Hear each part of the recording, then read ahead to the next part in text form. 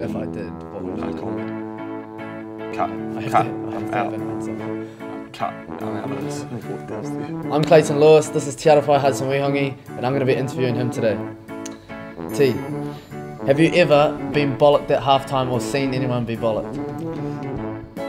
I've definitely been bollocked uh, a, a few times, not doing not doing my job. Um, probably my worst bollocking. It wasn't really too bad, but it was last last season. I think it was your first game for Wanderers against WaiBOP. Uh, I wasn't, they had a very poor first half, and Darren Bazeley uh, let me know. so that's probably my worst. Ah, yeah, yeah, they're very true. That was actually a pretty poor performance from you. uh, so I've been living with you for about a year now, and um, every morning you seem to take about an hour in, hour in the mirror doing your hair. Talk me through it. Um, an hour's probably pushing it. Uh, when I did have long hair, I'd probably say yeah, five minutes. But short hair now, it's just a little little gel through the hair. Done. I swear you used to get the blow dryer.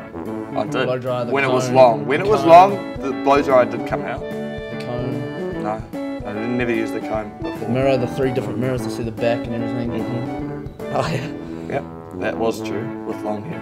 Now short, one minute. Okay, fair enough. Also, FIFA.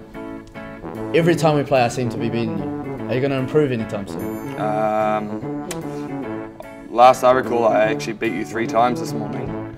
So I, you're only as good as your last game. So, and I think I've improved a lot. But I beat you. I was Derby, and you were Everton, and I won 3 0. Um, that was before I beat you. You talk smack. Okay, so what is the funniest thing you've seen or done on the football field? I've done uh, something pretty funny, pretty embarrassing at the same time. Uh, When I was younger, I was really scared of dogs, and I was playing a game, and a dog run on the field. I've run off the field, so just. Oh. I was so scared of dogs when I was younger. That was probably the most embarrassing slash funny thing I've done on the field.